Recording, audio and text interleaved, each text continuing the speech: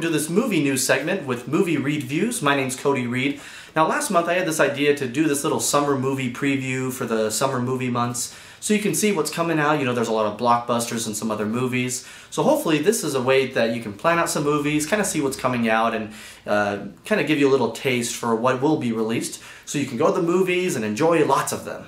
Now this video will be for the June 2015 movies that will be coming out now there's four weeks in June and we're going to start with June 5th. There's three movies being released, the first of which is Spy, and it stars Melissa McCarthy, Jason Statham, and some other people where Melissa McCarthy plays this bumbling idiot who is this like desk CIA person, like an analyst, kind of like Get Smart, and then she ends up going to the field and she has to prove her skills. So it's Melissa McCarthy doing her old shtick again.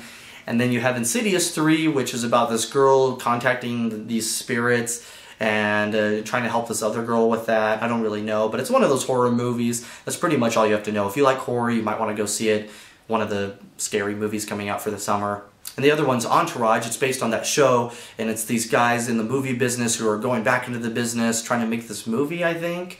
And uh, I don't really know. I never watched the show, so I'm not really into that movie. But if you like the show, then hey, you know, there's an Entourage movie coming out. You might like it. Now we move on to June 12th, the second weekend in June.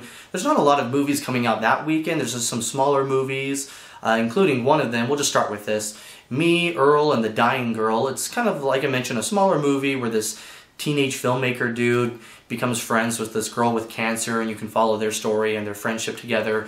So, you know, look for that smaller indie movie. But, you know, there's a kind of important movie coming out, or not, I wouldn't say important, but famous movie, uh, Jurassic World. So it's the fourth installment of that Jurassic Park franchise. It's been a while, maybe 10 or 15 years since we had the third one. Jurassic World is starring Chris Pratt and Dallas Bryce, uh, Dallas Bryce Howard, something like that.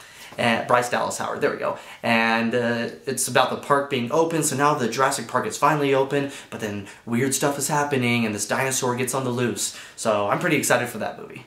Now we move on to June 19th. The third weekend in June has a few movies coming out again. It's mostly smaller movies, but one of the big ones actually is Inside Out. It's Pixar's new movie, and it's uh, about this girl, and it shows the different emotions happening inside her head. I've seen some of the pre previews, and it looks really interesting how they'll show like joy, sadness, fear, disgust, anger, and the different emotions that toy with each of us and how we go through those in our everyday lives. So it looks really thoughtful and insightful, but also funny and enjoyable for kids and adults.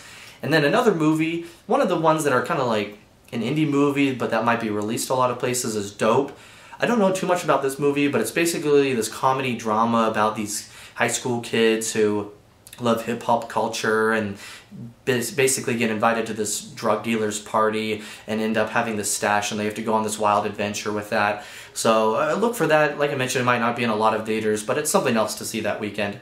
Finally, we move on to June 26th. Again, there's not a lot coming out this weekend. I don't know what's going on with June, but it seems to be a lot of smaller movies. One of the ones coming out, though, is Ted 2, and it's the follow-up, the sequel to the original Ted movie a few years ago, where it stars this raunchy teddy bear who's alive, and he's friends with Mark Wahlberg.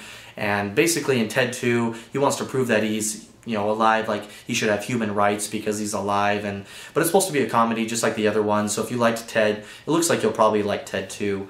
The other movie coming out that weekend is max. It stars this dog and it's about this dog who helped these US Marines like in war but then it's returning back home. So it's almost like it has PTSD but for a dog like it has to adjust back to normal life and being with this handler's family so uh, that one's actually PG, so it'll be a nice contrast between that movie and Ted 2 that weekend. There you go. Hopefully that helped. What movies are you waiting to see in June? I mean, pretty much for me, I want to see the bigger movies like Jurassic World or Inside Out, but some of these other movies look interesting too, so make sure to leave some comments, subscribe to my YouTube channel, and then lastly, if you have some questions for me, send them to my moviereedviews at gmail.com account, and I'll answer them. We could talk about movies. Thanks so much for watching, and I'll see you next month.